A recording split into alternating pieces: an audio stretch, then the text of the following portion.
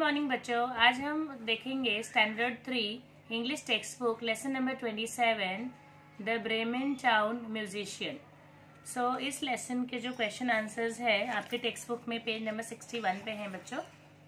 हम one by one सारे answers check करते हैं। Question number one answer the following question in short a who were the musician answer donkey dog cat and cock were the musician?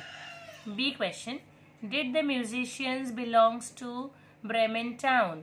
Answer. No. The musician did not belong to Bremen town. C question. Why did the donkey has to leave his master's house? Answer. The donkey have to leave his master's house because donkey's master treated him unkindly and starve him. D. Why were the following unhappy?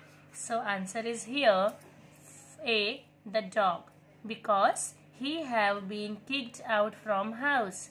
B. The cat because her mistress was planning to drown her.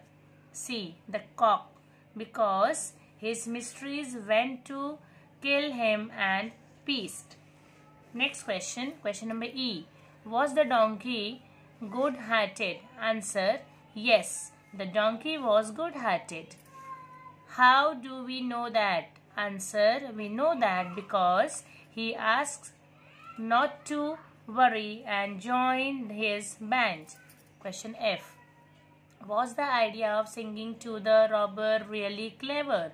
Answer, yes. The idea of singing to the robber really clever. Question G. What effects did musician singing have? Answer. The robbers nearly died to fight and rush back from there. Next question. Second.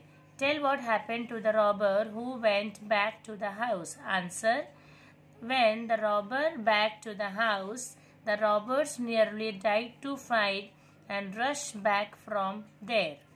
Write the opposite of starve, feast, cruel, kind, sadly, happily, loud, soft, huge, small, hind legs, fair leg, happiness, sadness. So with this, take a screenshot, write all in your notebook. Thank you.